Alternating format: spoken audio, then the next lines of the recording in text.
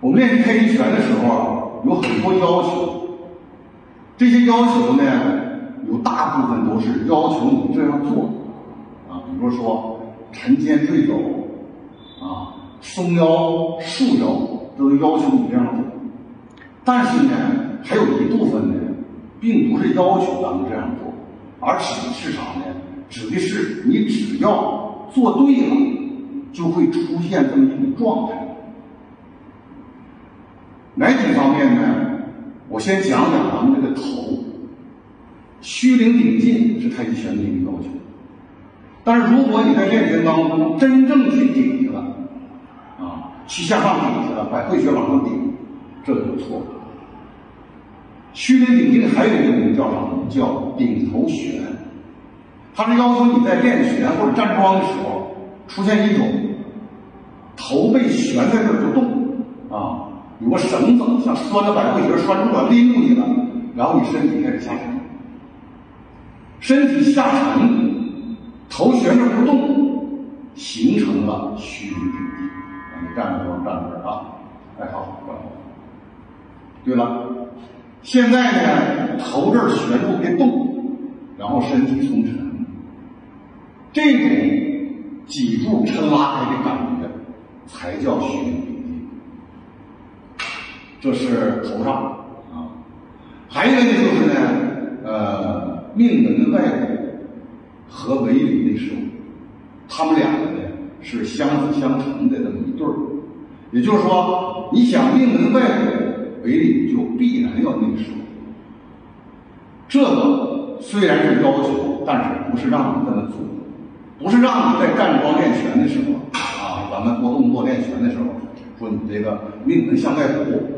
啊，尾闾向回收，啊，还有朋友讲的尾闾向地下扎，只要你这样做，就是错。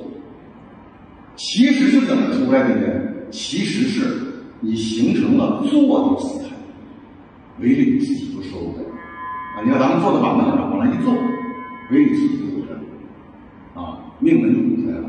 啊，可以找个板凳，你坐下之后你自己试，坐到这儿一摸命门，你看你现在啊，出现了一个坐的状态。对，你看这命门就是出来的，明白了吧？现在你站起来，啊，站好。对，你看这命门就回去了，啊，尾闾也就没收进来。这种站立的姿势是咱们人类进化了几十万年才出现的，是非常好的一个站立姿势。所以说，你就不要再人为的去把命门使劲往外鼓，啊，尾闾往里收。咱们练习太极拳动作套路。只有在定势的时候，你形成了坐的状态，才能自然而然的显现出来命门外为里内收。还有一个呢，就是呃，咱们的这个舌尖儿，在站桩和练开拳的时候呢，呃，我们要求咱们的嘴呢是微微的闭上啊，不要太使劲的闭，但是你要合上。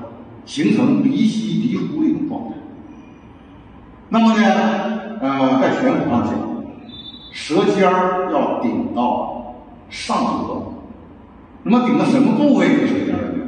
其实是顶在咱们上牙旁啊，这个牙和牙龈之间相交界的这个地方，舌尖顶到这儿。顶这儿的目的是为了什么呢？就老辈儿讲，就是任督二脉。在这块断了，啊，人脉从这儿走到这儿，到这儿断开了，督脉从后边过来到这儿也断开了。那么古人练功的时候，他接上怎么接？用舌头接，舌头一一接，哎，通了，啊，是通用这个呃这个含义。那么舌尖儿呢，呃，顶住啊上颚。你如果在练拳当中、站桩当中真去顶。有的朋友讲舌根向前送，这个意念过重，舌头还累，导致你出现的口水过多。啊，老爷练口水，口水过多对身体也是个消耗。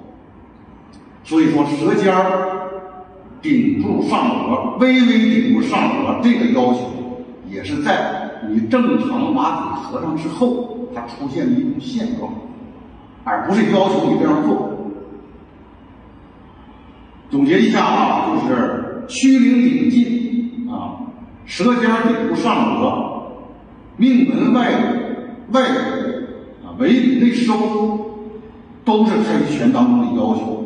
站桩练拳当中，你们按这要求做，但是不是做它本身，不是去做虚灵顶进，去做舌头顶这个上颚，去做尾里内收，命门外，而是。通过你正确的姿势来体现出这个要求。